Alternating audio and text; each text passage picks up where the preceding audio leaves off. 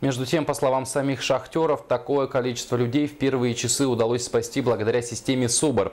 Сигнал тревоги прозвучал в руднике еще до того, как в выработке хлынула вода.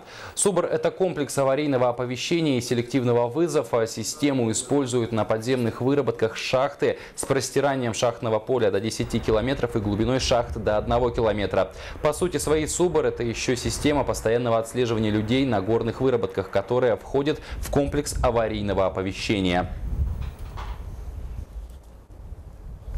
Система оповещения СУБОР, это э, система оповещает об аварии, э, указывает э, выход запасной, то есть своими именно Вообще, миганиями. она как показала себя в аварии, во время аварии? Помогла? Она сразу же отработала, да. То есть я думаю, что тех работников, которые находились в каких-то отдаленных местах и еще не видели эту воду, что приходящая вода пошла, они узнали об этом вот от, от этой системы оповещения.